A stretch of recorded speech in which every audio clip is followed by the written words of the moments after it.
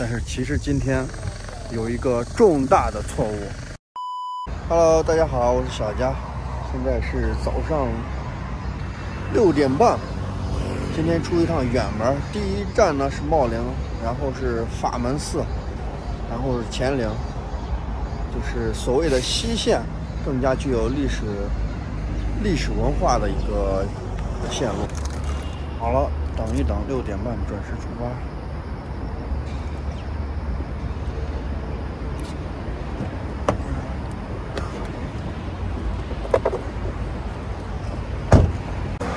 昨天买的鸡蛋和玉米，早上吃个鸡蛋。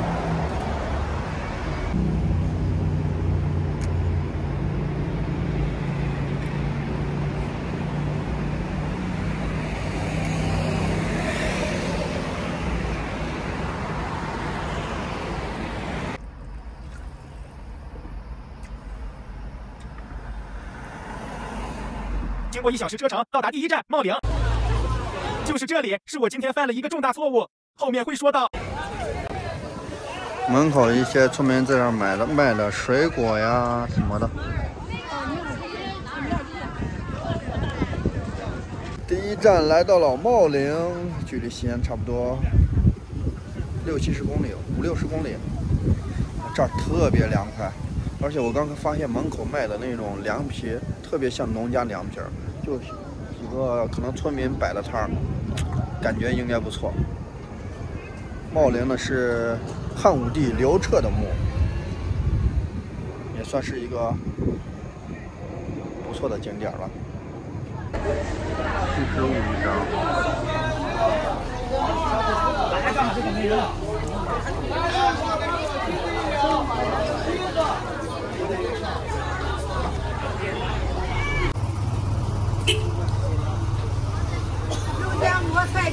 再来一个菜菜盒，哎，这个是生菜溜辣子茄子。啊，对，来个那个，来个这，来个这的。你要这个啊？对对对。行。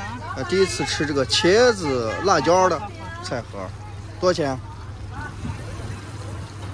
多少钱一个，老板？五块一个。哦。啊，五块。然后我看你这个这个凉皮咋卖的哈？这个也是，这是面皮。哦，给我来一个这。在这吃，在这吃。啊啊啊！司机。这面是嫩的，西瓜面。对对对，调一下啊，看一下。这香的很。看着都挺香的。干拌面嘛。干拌面。哦，陕西的干拌面。辣子多。十块钱。啊？十块钱。十块钱。辣子多。哎妹。哎，我来份吧。行，你先做完了。哦，行。这会才早上八点。这个凉皮看起来特别香，辣椒要不要？尝一尝。啊，美不美？耶！在西安吃不到这种宽的。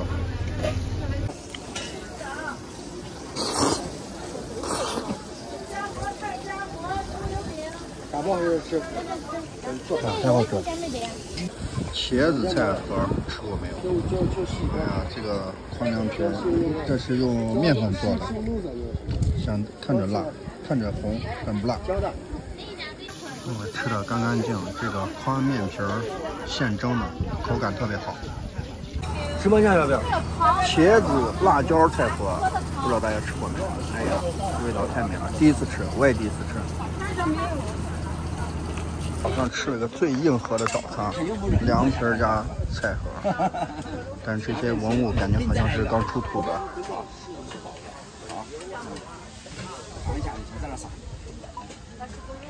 想不到吧，我竟然进来了，上个厕所。他这个厕所在里面，但是门口的那个啥工作人员说一声，你说是司机，你都可以进来上厕所，这点挺好。哎呀，刚才吃了有点太丰盛了，那个忍不住。他那个宽凉凉皮简直是太好吃了，纯手工农家做的，没有什么景区的痕迹。到达了宝鸡扶风县的法门寺。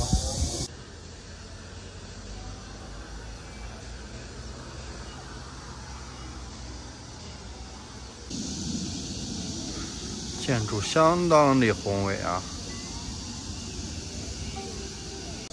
法门寺里面有唐朝各代皇帝在这里面祭祀的奇珍异宝，其中就有一件武则天当时穿过的衣服，真迹在里面藏着，还有一个什么指骨舍利。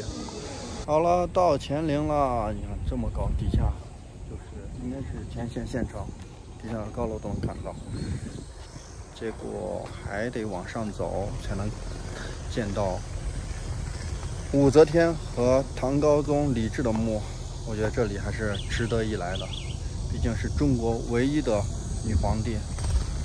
但是其实今天有一个重大的错误，第一站，第一站客人其实本来想去茂陵的，结果我在网上搜了一下，茂陵第一个排序就是茂陵博物馆。我理所当然的想着，可能是就要去这个茂林博物馆，因为那个点评量以及排行都在第一。结果到了之后，客人进去也没转多长时间出来，说好像不对。最后查了一下，其实客人是要去汉武帝刘彻的茂陵，是那个埋葬的地方。就类似于秦始皇兵马俑和秦始皇陵的一样，客人是要去秦始皇陵，而不是秦始皇兵马俑，所以我理所当然的给人家导航到茂林博物馆了。虽然茂林博物馆点评量最多，排行最多第一，但是客人不是要去这个地方，真的是一个重大的失误。呃，车上来真的是想了很久，以后还是要。嗯，把客人的需求呀问清楚之后，再根据地点去找。看一看这墓啊，在真的是在山上建的，底下县城，山上太凉快了。